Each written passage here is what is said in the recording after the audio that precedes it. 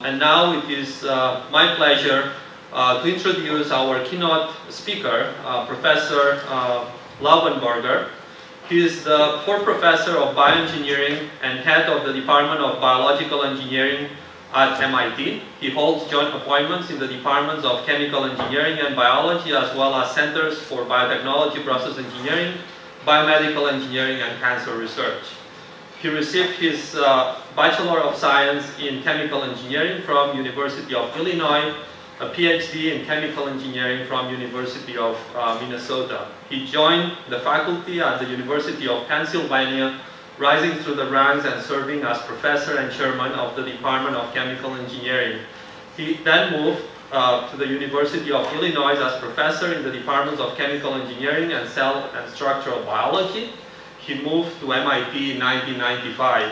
He has received numerous academic honors and awards, including membership in the National Academy of Engineering and American Academy of Arts and Sciences.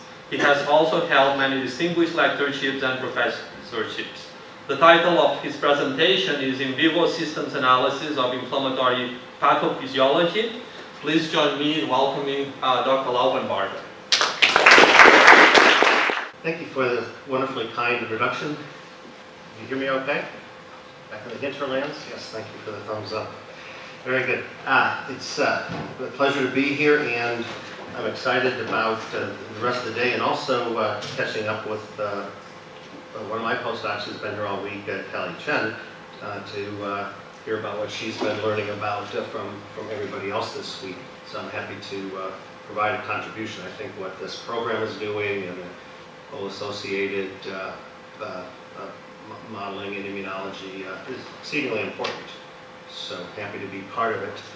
Okay, let me uh, begin by emphasizing what I'm going to show you today has been a, a terrific partnership uh, with colleague Kevin Haigis at uh, MGH in trying to bring some of our analysis methods in vivo, which I think everybody's interested in, of course. And let me also start so that uh, I, I, don't forget this by emphasizing that along with Kevin, uh, a terrific postdoc, Ken Lau, jointly uh, initiated a lot of this work. You can see some of the early publications. Uh, he's now at Vanderbilt, and then more recently Sarah Schreier and uh, Dr. Jesse Lyons uh, here. some of the work I'm going to show you has been published. the latter part has not, so there's plenty of new things here and certainly want to uh, acknowledge and gratefully uh, financial support. Okay, so what's, what's our motivating uh, problem? Our motivating problem is, uh, for examples like this, your mucosal immunology, or others, they're just complex physiology, complex pathophysiology. And they all have many moving parts, many different cell types, uh, many different phenotypic behaviors, cell-cell communication, interactions in molecules, uh, networks inside each cell governing all the various phenotypes. And if anything is pathological at all, one would like to be able to intervene. You'd like to be able to intervene with a small molecule drug, or an antibody blocking some uh, chemokine or cytokine, or add a cytokine or chemokine itself, or you might want to add or deplete particular immune cell types, all of these things are experimentally possible and clinically uh, attractive. The question is what's going to happen when you do it. So these days the issue isn't what can one do experimentally for therapeutic perturbation, it's do you have any notion of what's going to happen when you do. So that's what we're after. Now, one of the nice things about these complex, many moving parts systems is that toward a therapeutic intervention, you have many different targets. There's so many things that contribute, so many cell types, so many pathways, so many uh, uh, uh, chemokines and cytokines and growth factors and proteases and so forth, that there's no single magic bullet. Aha, this pathology depends on this gene, crucially, and only that gene, or this cell type, or that molecule. So it's actually an advantage, because it gives you many different ways to intervene, many alternative uh, therapeutics uh, but one again has to be able to understand what's going to happen when you do. So that's, that's conceptually what we're after. All right, the example problem today, uh, by and large, is in intestinal uh, pathology. Uh, this is all going to be in mice. Uh, we've started to take this into uh, some human uh, patient samples as well. I'm not going to show you any of that today.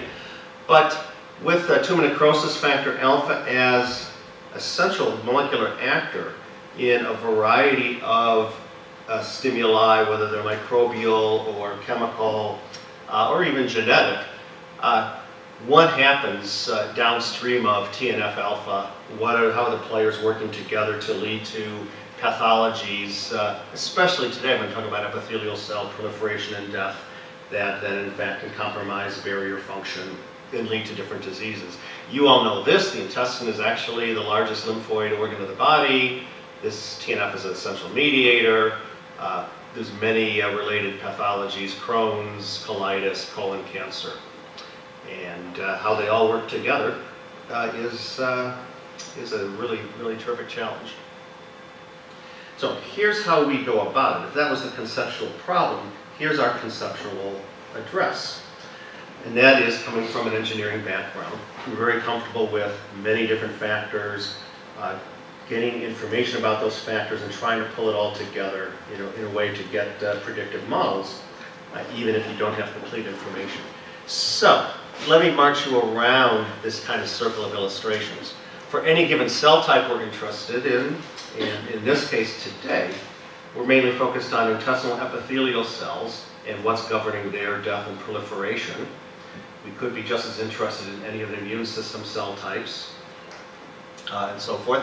But in an epithelial cell types here, uh, what's going to govern proliferation and apoptotic death are uh, numerous, uh, mainly kinase pathways. So if we're going to understand what, what's governing the epithelial cell behavior in the mouse intestine, we're going to have to make measurements across multiple kinase pathways. If we don't do that, we won't have the crucial information that's actually governing what they're going to do. Now, you ask under what stimulation conditions of uh, cytokines and growth factors and so forth should we make these measurements? Which one best fits, best mimics physiology? Well, none, of course, because physiology is a very wide-ranging uh, landscape. So the way we would go about it in vitro would be to use many different combinations of all the different things that we think these cells might see and drive this network into many different states, measure the phenotypes, and thereby get the information. Now, of course, in vivo, uh, it's not that you add all these things exogenously the way you want. They come from other cell types. Shane might uh, recognize this, uh, this diagram because it's hers, uh, and I like it. Uh, it's about how the different cell types are actually trading communication molecules, cytokines, growth factors between themselves, because that's where they come from. You don't add them exogenously. So now how do you get biological variation? uh, instead of in culture adding these things at all sorts of different uh, permutations, well, that's what different individuals before are for. If you use five different mice, even for the same condition, they're going to behave differently. Even if they're the same strain, they're still not going to be identical. And so you will get different intrinsic concentrations of these molecules and different cell types and so forth, as if you had added the variation yourself in vitro, the mice do it for you. And so as you'll see in our approach, everybody worries about individual variation, okay, whether it's human patients or animals. With the modeling considered in the right way, it's actually a plus. If you have two mice that behaved identically, you've wasted a mouse. Okay? So that's, that's uh, what you got to think about. So we're going to bring these same kind of measurements now into mouse cells in vivo and also try to figure out what's going on outside the cells that still governs the networks going on inside. So it's multi-scale, I would call it, because we're inside cells, we're looking at what's outside cells, different cell types, and then in, then in vivo. Now, of course, you get data sets, as I'll show you. Uh, intuitively, you can't uh, really think about them very well. Thus, you have no choice but to think about uh, computational modeling methods. Uh, our lab is pretty agnostic about various different types. Today, you'll see mostly things that'll just look like uh, algebra, because that's what they are. You'll see a little bit of logic modeling. Through the rest of the week, you've already seen uh, uh, some of the other types, so, so maybe this will be complementary. And kind of use depends on the questions you're asking in the data. Now, one thing that's, I think, important uh, again, conceptually to think about is whether you're looking at your model in a theory-driven way or a data-driven way. I come from a chemical engineering background. this is what I learned to do, is that you knew enough about your system, you wrote down hypotheses, you wrote them down mathematically, and you said, if I simulate these differential equations, can I get behavior in experiments that I can predict? Now, what I've learned in, in, cell biology over the last uh, 30 years is that in most cell biological systems, with some exceptions, we know so little about this that this is really, uh, well, really, really daunting. And so where you gain more purchase is by making measurements across things and not knowing exactly what's important and why it's important and uh, how it's important relationship to others, and then letting these data-driven computational models generate the hypotheses and generate the predictions. And when you can move over to theory-driven models, all the better. One reason I like logic modeling, you'll see a little bit at the, at the end, and I think agent-based modeling falls into this category too. You actually can apply it in either mode. You can really a priori pose uh, agent-based models and logic models, or you can learn them. Uh, so I think that's, uh, that's an advantage of both those types. Okay, so what I'm going to show you here is what we've done over the last decade or so for cells and culture just to show you the types of data that might be generated and the ways that it's going to be looked at with the computational analysis so that when I launch into the in vivo data, then you'll understand what these plots mean and, and what we're trying to convey. So remember that what we're after is some type of phenotypic behavior, uh, proliferation or death, let's say, of intestinal epithelial cells. We're going to do it in mice, uh, where they're going to see lots of different things. For the past decade or so, uh, largely driven by a, a, a, terrific PhD student, Kevin Janes, who's now at uh, University of Virginia, intestinal uh, epithelial cells in culture, and then adding these different types of factors, and then seeing what happens phenotypically, proliferation uh, or, uh, or, or, death. Now, the way most cell biology been, has been undertaken for these decades is you pick some signal, like Jun kinase, some intracellular signal that you think for genetic reasons or literature reasons is really crucial and that that should be governing uh, what's going on to a large extent. Well, what we can show is that if you measure that, any signal, pretty much name it, under a variety of different conditions, the relationship between the phenotype, apoptosis being high or low or, or uh, intermediate, its relationship to any one of those signals is going to be quite complex. It's not going to be simply monotonic and, and uh, univariate. So what we do is flip the problem inside out and say for any given one of our treatment conditions, we will plot the outcome, high or low or intermediate apoptosis for instance, in a multidimensional space of the molecular regulatory measurements that we've made. And now this will look complex, but we'll use uh, multivariate uh, regression methods like principal components analysis, uh, partial least squares regression, to sort out on latent vectors or eigenvectors the weighted combinations of these molecular measurements that are in fact associated with high apoptosis or low apoptosis or intermediate. And these can become hypothesis generators. These actually can become predictive models. You can look inside them and see what they mean. Uh, so in the end, if they work well, what you can do is have either measurements or predictions of the intracellular signals, put them into the eigenvectors, predict under any given perturbation whether you should get higher or lower apoptosis or proliferation, and match it up against the experimental uh, measurement. And if you get a robust model, you should be able to move up and down this line regardless of what molecular manipulation you make. Okay. Now, the way this is looked at, and you get insight out of it, is from two kinds of plots. Uh, one that's called the scores plot, and that's the information content of any given cue condition. So under any given condition, a cue insulin treatment or TNF treatment for these epithelial cells, you measure the signals, you project those measurements on the eigenvectors, latent variable 1 or latent variable 2, and that will tell you the information that the cell is reading. So under pure TNF treatment conditions, all these kinase signals will project onto a latent variable that's strongly associated with death under insulin or EGF treatments, all the signals that are generated will project on largely to another axis that's mainly survival and proliferation. So any given treatment condition or perturbation will tell you whether you're giving information content to the cell network that's pushing you one phenotype or another. The other type of plot is called a loadings plot, and now we look at any given signal across all the different treatment conditions, all the different cues, and now project them also on the same eigenvectors. And in this particular case, across all the different TNF, insulin, EGF, etc. treatment conditions, we plot the activity of the kinase IKK upstream of NF-kappa B, projected on the eigenvectors, and we find some very interesting things. That at short times, those signals push the cells towards survival, and at longer times, they push the cells toward death. They're actually doing two different things mechanistically. These are controlling caspase regulatory molecules. These are controlling cytokines and chemokines that feed back.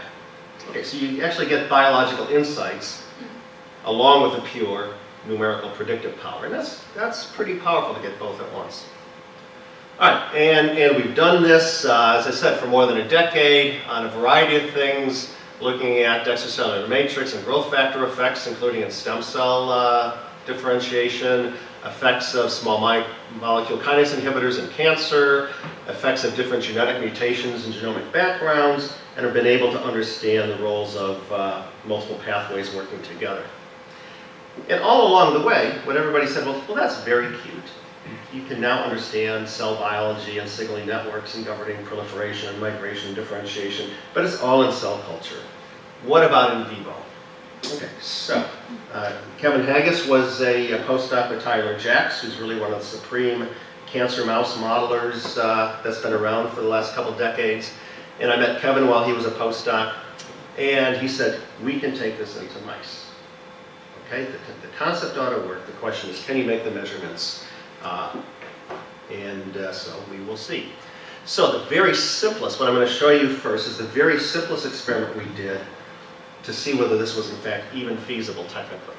So we took mice, uh, black 6 mice, that will become important later, and either treated them with a high dose of TNF systemically, or uh, a lower dose of TNF, or control. And right now I'm going to just talk about wild type. Later you'll see RAG1 knockouts, you'll see RAS mutants. And then, so you inject the TNF, and it's going to go to the intestine along with other places, and it's going to cause some uh, havoc there. And at periods of time afterwards, we're going to take the tissue out. We're actually going to sample it from the variety of different locations, because location matters. You get a different microenvironment, you're going to get different local factors affecting the epithelial cells. Take the tissues out and measure things like uh, cell proliferation, apoptosis, uh, signaling data, gene expression data, cytokine, chemokine data, different cell types that are there, and then develop the kind of models I just showed you, now go into perturbations, small molecule kinase inhibitors, antibodies, cytokines, chemokines, and see if we can predict what happens next. Okay. Later I'm going to show you some more complicated models, adoptive T-cell transfer models, and uh, so forth if I have time. So here's the kind of data that one can generate. So under these different treatments, uh, if you pull out the duodenum or the ileum, and we measure proliferation by uh, uh, phosphohistone 3. What you can see is in the ileum, the TNF actually stimulates proliferation, both at low dose and high dose. In the duodenum, it actually suppresses proliferation. So the TNF, in combination with whatever else is there in the microenvironment, has two different uh, phenotypic behaviors. If you look at apoptosis, it's exactly the opposite. By cleaved caspase 3 in the duodenum with low dose, you get a late four-hour apoptotic peak. At the high dose of TNF, it comes uh, earlier. In the ileum, there's no effective apoptosis at all, non apoptosis at all. Uh, this is tissue lysates. You say, how do you know what's going on actually is in the epithelial cells? So we can do in vivo in situ immunohistochemistry and show whether it's the PH3 or the cleaved caspase 3. We can show that it's actually taking place in the epithelial cells. So the biochemistry we do in the tissue lysates matches the biochemistry that we see in IHC. And we always do that to just make sure we can go back and the thing is happening in the real cells. And you'll see that again later too. All right, well that's the phenotype. That's like putting the cells in a dish and adding growth factors and seeing uh, proliferation apoptosis.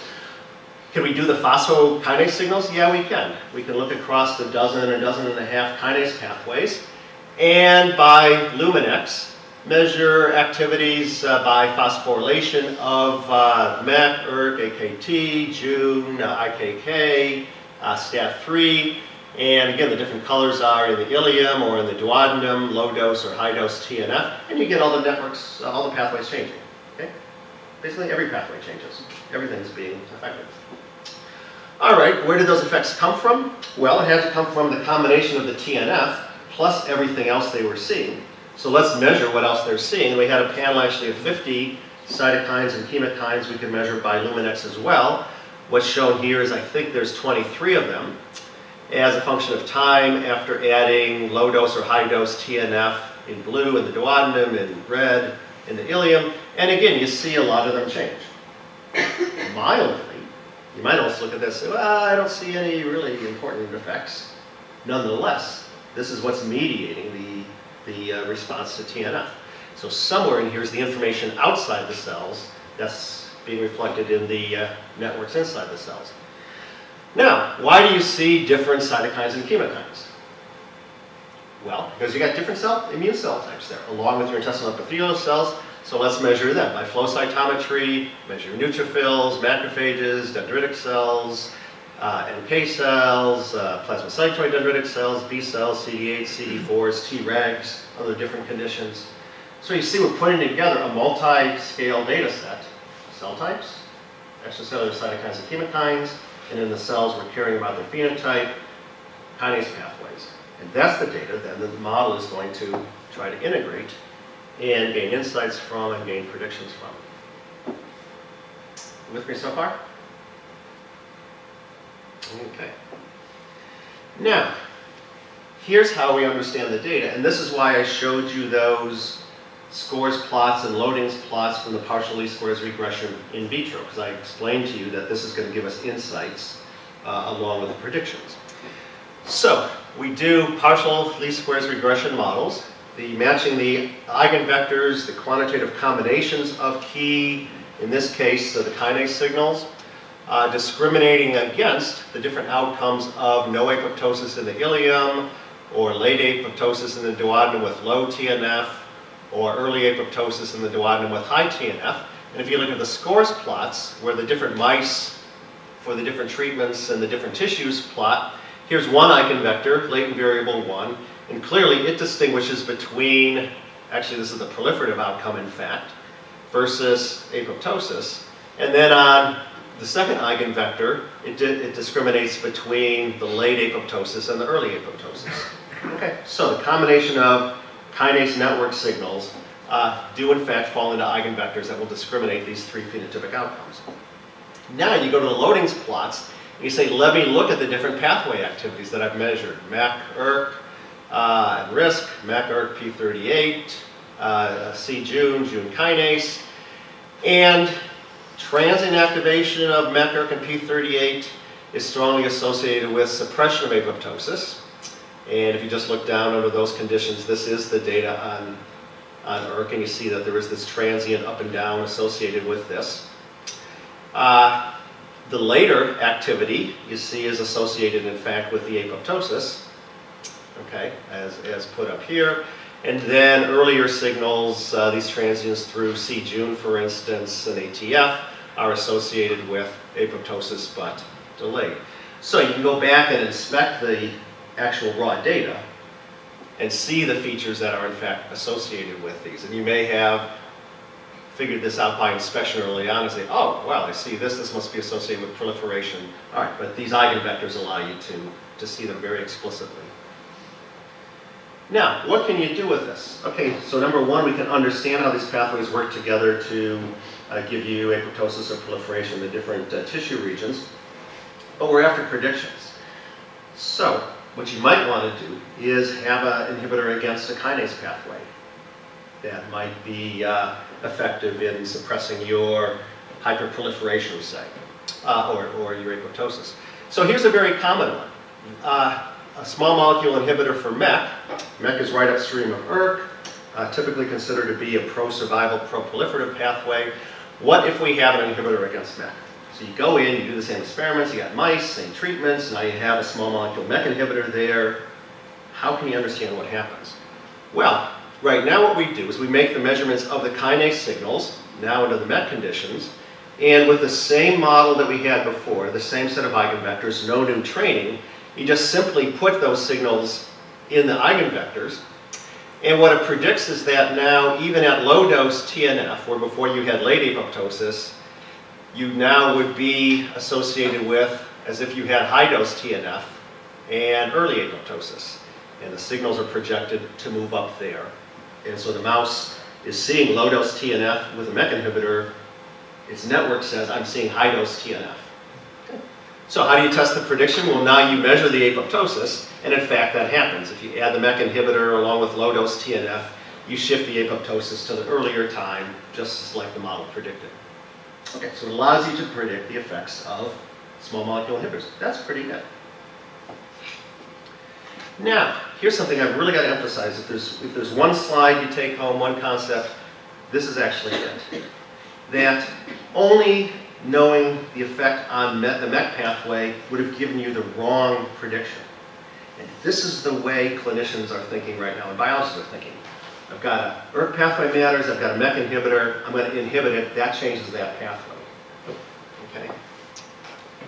In order to get the correct prediction, you actually have to include the effects on all the other pathways, AKT and, and Jun kinase and so forth. Okay? Because if we only put into the model, because you can do this, if we only put into the model the suppression of the MEK and ERK pathway, and assume that the other pathways stayed the same, here's what the model would have predicted. It actually would have predicted that we would get less apoptosis. It actually shifts it in a more pro-survival way You only get the correct prediction if you actually also include the effects on the other pathways. So now some people will say, well, of course we know kinase inhibitors are dirty and they have cross uh, uh, uh, off-target effects. That's not what this is. This is a clinical trial MEK inhibitor, very clean, very clean. So when you see effects on AKT and Jun kinase, it's not the molecule, it's the real biological crosstalk the fact that these are not parallel pathways in isolation, but if I affect the ERK pathway, there's docking molecules and so forth that affect what happens in the Jun kinase pathway and the AKT pathway. Very clean drug, just complex biology. Okay, so you got to get that straight. It's not the chemistry, it's the biology. It's real. This is not artifact. So in fact, what's true, and we figured out why this is the case, under in this context, in the mouse intestinal epithelium, and this is not unique, the MEK pathway is actually pro-death. When you activate it, it's actually pro-death. Why is that? It has to do with interferon gamma and the expression of another downstream docking protein that shifts some of the ERK substrates and so forth. But as I said, you show that here, if all you did was affect MEK and ERK, you actually shift the model prediction to even later apoptosis. Okay, so you got to know multiple pathways. It's not dirty chemistry, it's just complex biology. Okay, but this kind of model can handle it because it says in your eigenvectors, I got to add everything up that everything changed. I just got to know that everything else changed. I just can't pretend that I had a blocker against this signal and I set that to zero and now I just propagate everything else that happens. Cannot do that.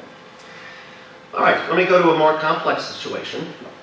And again, people in this room, uh, you know, understand uh, this biology. So you knock out uh, RAG1 in this case, and you essentially lose your lymphocytes.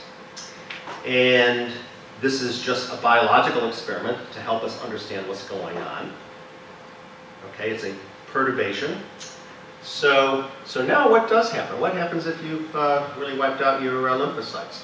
Interestingly, now we're only going to look at the duodenum uh, and the uh, apoptosis, uh, just for, uh, for focus here.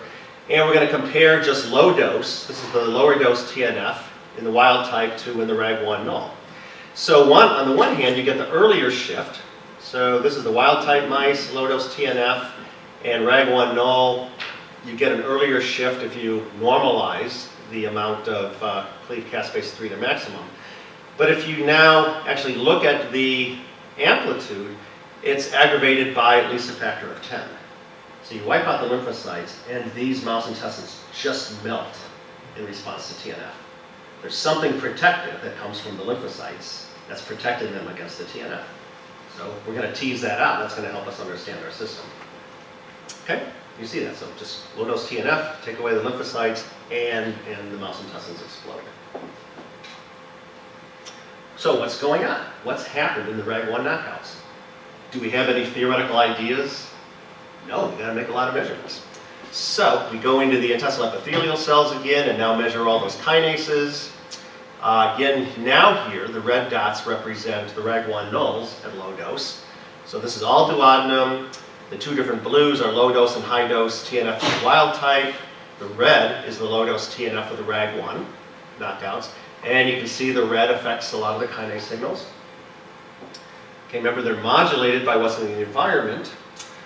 So here's now the cytokines and chemokines, and again, the blue is low-dose, high-dose with wild-type mice, the red is low-dose TNF with RAG1 knockouts, and you can see some of the cytokines and chemokines are changed. Not surprisingly, the absence of lymphocytes is changing something what's going on in the population.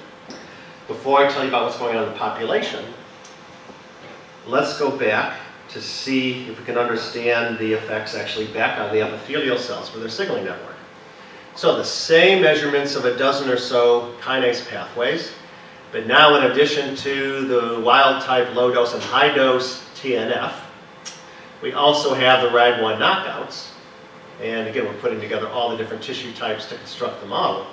And what happens is there's a whole new phenotype that emerges in the partial least squares regression model. Along with the two eigenvectors we had before, we now have a third eigenvector that really has to do with this very explosive apoptosis. That's order of magnitude is, is uh, really tremendously higher.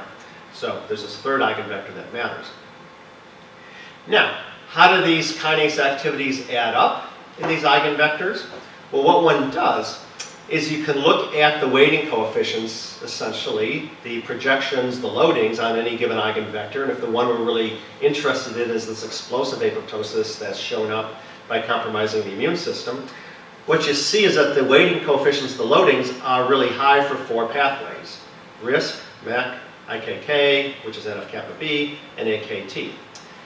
And so what the model predicts is that if I know only those four pathways, I can tell you under every condition what's going to happen to the epithelial cells. Two of them are pro-death, IKK to NF-kappa B, and MEK. I've now shown you why MEK is pro-death in this case. And two are pro-survival, AKT and RISC. So the cell is balancing two pro-survival pathways against two pro-proliferation survival uh, death pathways. And so under any given condition, you're going to get different activities of these four pathways. The cell's going to multiply by its weighting coefficients, and that's going to decide what it does. All right, we'll come back to that. Now, what about what's outside the cell? What matters of the cytokines and chemokines? If there's 50 we've measured and 23 that, that vary with some significance, Let's look at them in the same way. So now here's a heat map, not of the kinase signals, but of the 23 different cytokines and chemokines that show variation across the different conditions. Tissue types, low dose, high dose TNF, RAG1 knockouts. Same type of plot, and now we can discriminate between, now over here is this early high apoptosis in the RAG1 knockouts. This is the severe uh, phenotype. And then we have late low apoptosis and early low apoptosis. All right, now let's look at the loadings. In this case, the loadings are not the kinase signals, but they're the cytokines and chemokines. Interestingly, almost by its lonesome, is the early amount of MCP1 or CCL2 seems to be associated with the most protective phenotype possible, the latest and the lowest apoptosis. So this model predicts that MCP1 is protective against TNF-induced epithelial cell apoptosis. Out of all these variations that we could have looked at. And I will point out where it is is right here. And what this says is this little bit of difference between the red and blue here is the single most important contributor to protection against apoptosis.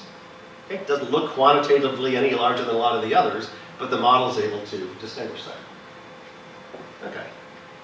Is it true? Yeah, it's true. So what you can do is come in with uh, we can do it either way, either add CCL2 or come in with an antibody against CCL2. This is something you might do in a uh, anti-inflammatory uh, type of uh, disease. Now measure the cytokines and chemokines, and they shift you up to the early and high apoptosis. So if you deplete the MCP1 CCL2, the cytokine mix that results tells you that you should have this horrible early high apoptosis. That's exactly what happens if you measure it. This is low dose TNF, wild type mice. Uh, this is now a wild type mice, and all you've done is deplete CCL2, and now it operates as if it had been RAG1 knockout.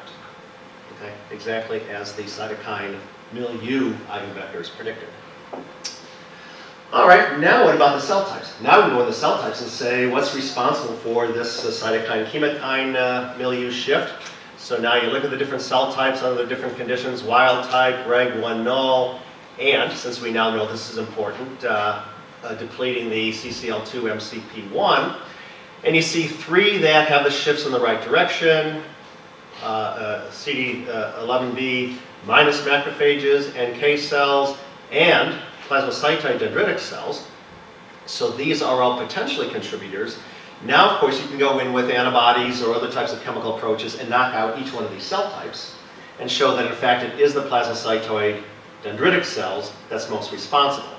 Because uh, if I get rid of them, then I suppress that early and high apoptosis much more than NK cells or the macrophages. So you can start to trace through to the thread of the different cell types that are responsible. Okay, now you say, uh, and what might these plasmacytoid cells be doing? Well, now let's go back into the cytokine eigenvector model, partial least squares discriminant model, high and low apoptosis, early and late. Uh, now we have more signals showing up here when we add in the uh, uh, depleted MCP1 data. But over here, what we see projected most strongly with the highest apoptosis is interferon gamma. So there's something about interferon gamma being produced, which may not be a surprise that then is associated with, a, with the high apoptosis. So we see that here, if we have wild type and just add interferon gamma, we get much more apoptosis of the intestinal epithelial cells. If we have the RAG1 null mice and have an antibody against interferon gamma, we can shift it down. So the model allows us to make these predictions about what happens if we perturb intracellular signals or extracellular chemokines. Now, where does the MCP1 come from? You can go back histologically and see which cell types are making it and which ones are TNF-induced and RAG1 associated. Turns out it's coming from the goblet cells, not the enterocytes, but the secretory cells. They're actually making the MCP1, which is a surprise to a lot of people, but it's true. So, long story all put together, what we've identified just from these multi-scale measurements and nothing more than eigenvector modeling is a whole thread of what happens in the intestine in response to TNF. So one thread of it is, under ordinary conditions, the T cells, and we were able to show as T cells and not B cells, are producing some signal that goes to the goblet cells, tells them to make MCP1. The MCP1 keeps out the plasmacytoid dendritic cells, and so the epithelial cells are really just responding to TNF and associated other things. When we've knocked out the lymphocytes, they're no longer sending the signal to the goblet cells, that induces the MCP1. You don't induce MCP1, you now have more plasmacytoid dendritic cells. They're making interferon gamma, or causing it to be made. And the interferon gamma now, in synergy with the TNF-alpha, is shifting the balance of those four kinase pathways. See? So you can put together whole threads of cell types, chemokines, uh, intracellular signaling pathways. And I want to emphasize, this is not the only thread of what's going on. This is the thread we found with this early analysis. We can now go back and trace other kinds of chemokines and the cell types responsible for them and put together a quantitative model with all these different types. We could go into the plasmacytoid dendritic cells if we wanted and try to measure their key signaling pathways that are responsible for what they're making. Voila, that's how you end up with nice agent-based models with, with the cell, cell level rules. Okay, so here's the crucial part. I go back to the kinase pathways. The kinase pathways, that four pathway eigenvector model, accounts for all these things. You change the lymphocytes, you change the plasmacytoid dendritic cells, you change interferon gamma, you change MCP1. All of it ends up in those four kinase pathways, and the cell adds them up, and that tells what you're doing.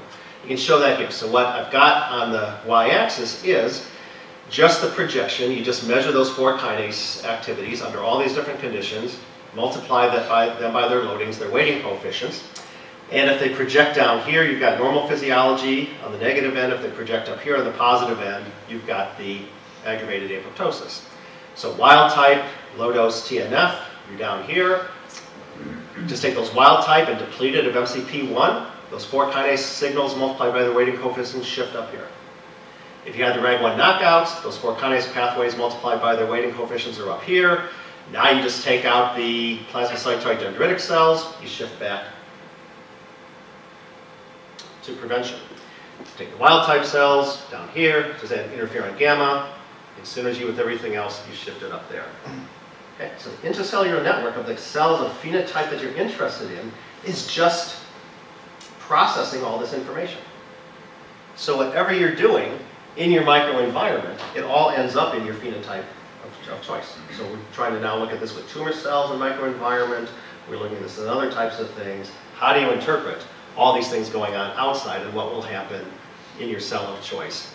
Uh, this is the language of translation. It's the signaling network that's just accumulating all this information for whatever you would do extracellularly. Okay, now, uh, a couple things. Let me take this a little bit farther. So this was all in black 6 mice. What if you have mice of different uh, genomic strains, genomic backgrounds? Are they all going to behave the same? Of course not. They've got different genetic properties.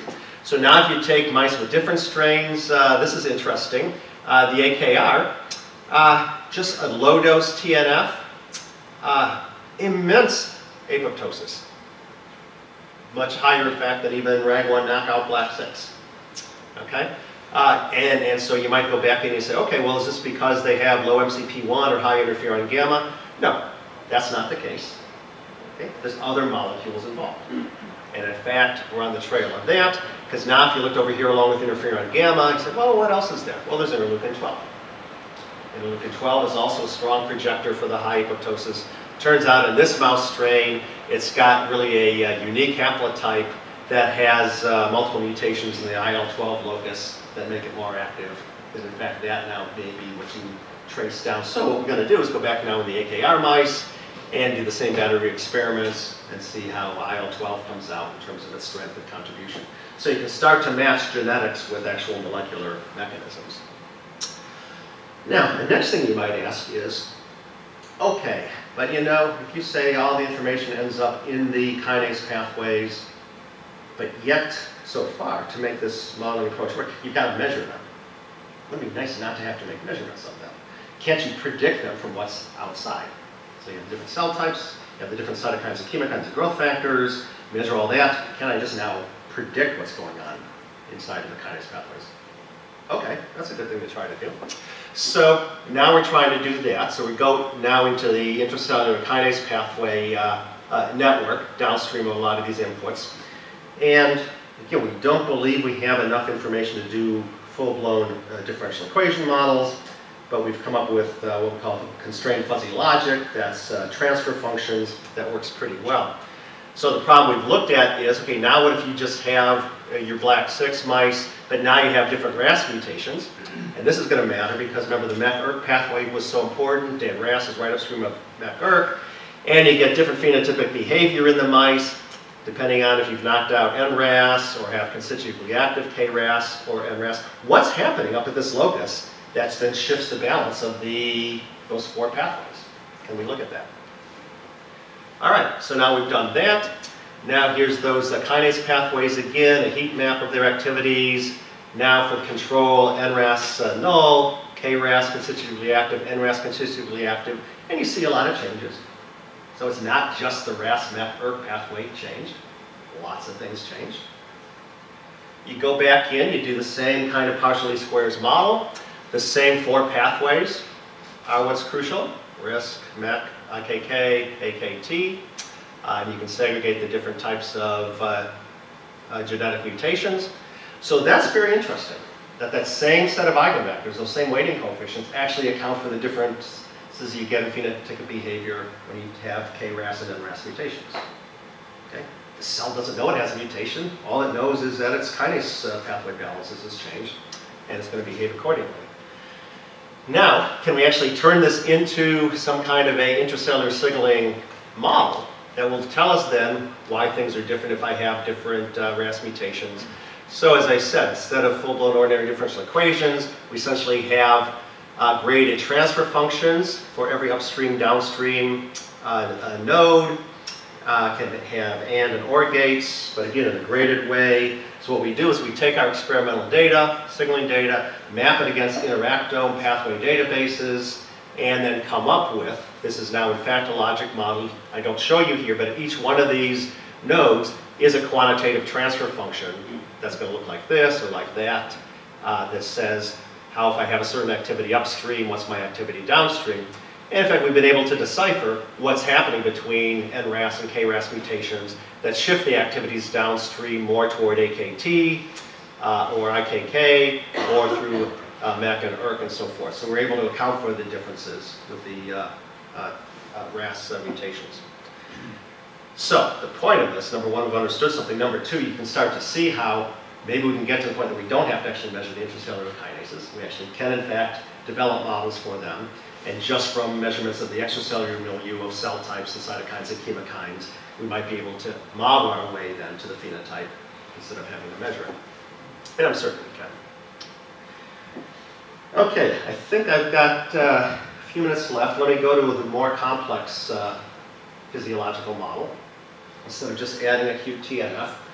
Uh, here what we've done is now we take our RAG1 knockout mice and now we adaptively uh, transfer back in naive T cells, either CD45s or CD25s, Tregs as a control. And now, of course, what's happening, here's your mucosal uh, immunity. They're now reacting against the microbiome that's there in a naive way, and that will set off the inflammatory cascade. So what's measured here in the colon now is instead of just uh, cellular phenotype of proliferation or apoptosis in the epithelial cell, right now we've started with something that you would see more clinically, well what's actually the thickness of the epithelial wall. Okay? So what's actually measured then out of each mouse is the thickness of the epithelial wall actually as a function of position in the colon. And so if you add Tregs, uh, you really get no thickening. If you add the CD45s, in some mice, you get a very severe inflammation and thickening in part of the colon and almost nothing in the other. In some of the mice, you get a more mild inflammation and thickening in some aspect and the other. So this is now our phenotype. And again, here's individual variation. Uh, here's a number of different mice and the, uh, the variation within them. Here's another whole set of mice and they're almost categorically different. Interestingly, it's not as if this is all just one big smear. That's an interesting thing in terms of thinking about physiological states.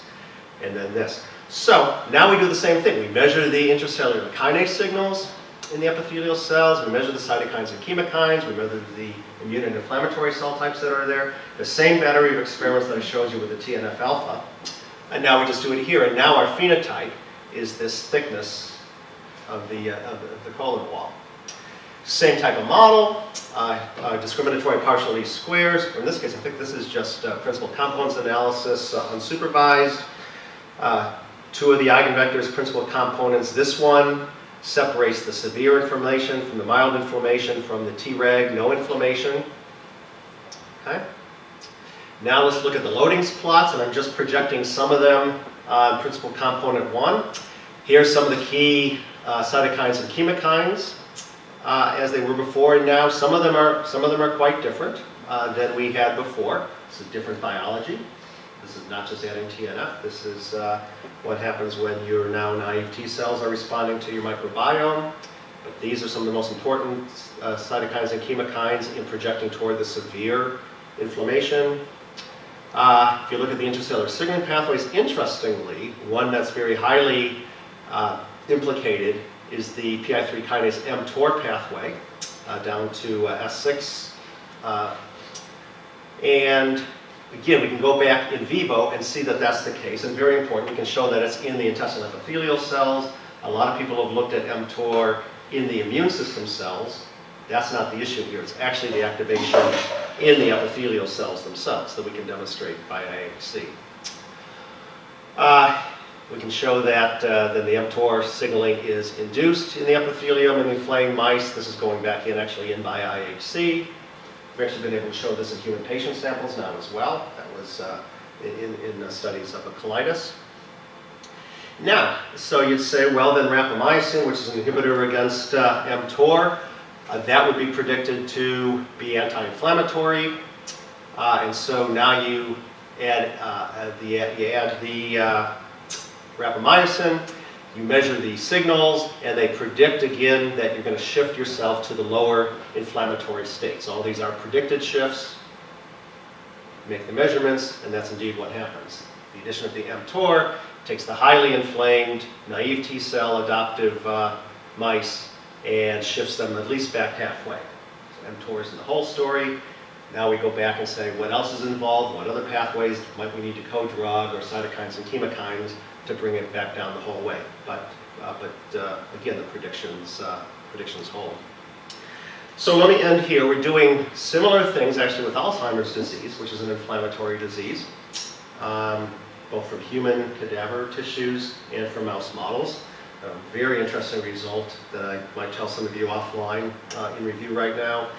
And in fact, uh, with human patients with endometriosis, which is a woman's reproductive disease, inflammation in the peritoneal cavity, really devastating, uh, debilitating, and uh, paper from a postdoc Michael Besti was out in Science Translational Medicine a couple months ago that took this same kind of analysis actually into the clinic and uh, identified, in fact, a uh, potential clinical target for a kinase pathway inhibitor. So let me end again uh, with appreciation to Kevin, Ken, Sarah, and Jesse. You can look up a lot of the work, everything except the adaptive T-cell transfer work and uh, funding sources. Uh, thanks very much.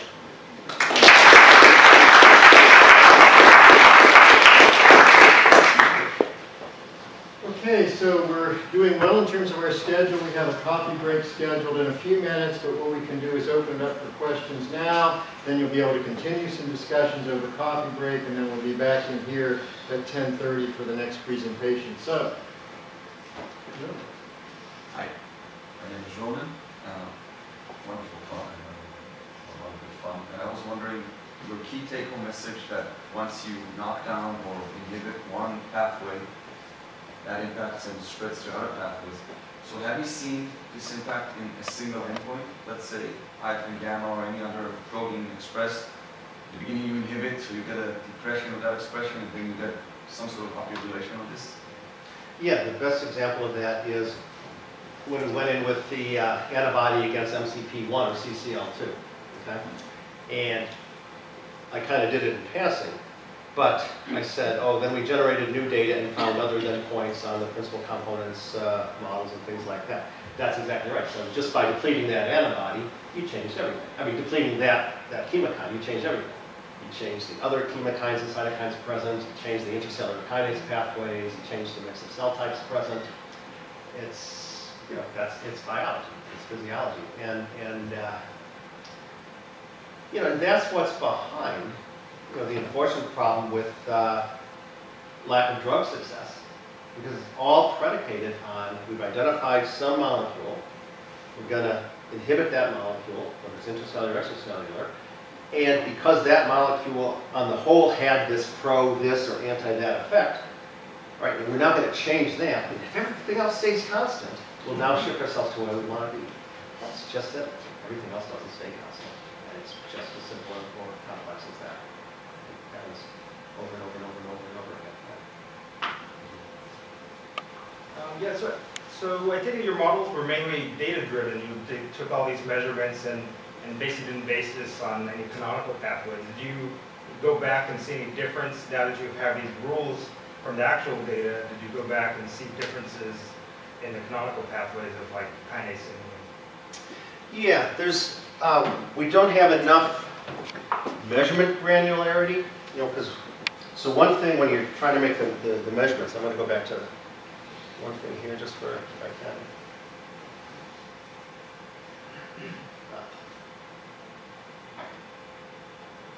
Yeah, let me sit on it for a second. So, so the compromise we make, we're trying to, what I'll call horizontally sample over multiple pathways. Now, the problem with that is pound for pound, if you only have so much reagents and time and money and so forth, what you don't then get is vertical sampling down through a pathway. So we can see some known change. And what we don't know is too much granularity about what else happened upstream of it and downstream of it. Okay? So that's what the, uh, the fuzzy logic model is supposed to try to get at, is to say, all right, if we've measured mainly some things, AKT, MEC, ERK, okay, yet we know there's these intermediate nodes that we didn't measure. Okay, what's happening to the logic of the flow between the things that we did measure that go through things that we didn't measure that are required to account for those shifts. Okay? So now your question would be, all right, this model now says we've thickened some lines, uh, You go one way if you have KRAS mutation, you go another way if you have an NRAS mutation and so forth. One thing we're trying to do now is go back and look at these nodes that weren't measured in our high throughput Luminex way, and with much more laborious biochemistry assays, go back into them and say, okay, were they shifted in the way that this logic model tells us? So I think that's what we would need to do to get at what you said. So that's the next step on this. Additional questions? Kevin? Can you tell me a little bit more about your fuzzy logic model? Uh, what kind of software, is, there a software for it? Yeah, so I want to give credit uh, largely to former postdoc Julio Saez Rodriguez, who worked with myself and Peter Soger. He's now got his own lab at the uh, European Bioinformatics Institute. If you go to his lab, that's where all the software resides. So he developed just a regular Boolean logic uh, for signaling. A lot of people have done that. And then in concert with us, so this is just what the constrained fuzzy logic looks like, is that instead of Boolean being on and off, it allows you to be graded in between. It adds an extra parameter to each logic gate, because now you've essentially got a slope. Okay, Along with just a location of where you shift from low to high, right? Now you've got a slope. okay. And so you've constrained, what we've constrained fuzzy logic to is things of this shape where now the parameter becomes the slope. So it's not a finite state model then, you No, no, that's right. That's right, that's right. It's, it's not. And, and it's trying to reflect the real biochemistry. And, and uh, that's one reason we like it. Um, it also does reveal logic that you don't see, you know, if you just stick yourself with the, uh, with the finite state. But anyway, back to what you said. So right now the model largely lives in, it's in MATLAB, but Julio's lab's converting it to R. oh. So if you go to Julio's uh, uh, lab website, you might now be able to find this in R. That's, that's the goal. So what happens when the logic is represented by the pattern of activation of the node? For example, you know, interleukin 6 is pro-inflammatory, interleukin 10 is anti-inflammatory. They both activate STAT3, but one does it transiently, the other does it in prolonged fashion. They end up having almost opposite effects. Yeah, and that's, um, that's a detail that's under here, okay?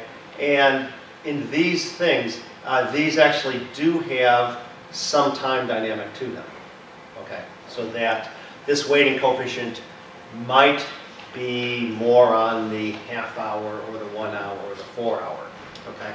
So right now, we haven't uh, seen the differences uh, but you can break out each one of these by time point, or another thing Kevin James did, uh, he hasn't published yet actually, is to actually take the time dynamic curve, okay, and instead of just being measurement points here at different times, it's actually the curve that matters, which actually does then have the early, late, and so forth. So that'll work in the PLS, but when you go to the transfer functions, can you, does that get carried through? Ah, yeah, so with the transfer functions, uh, what you have to do is now you turn this into uh, time segments.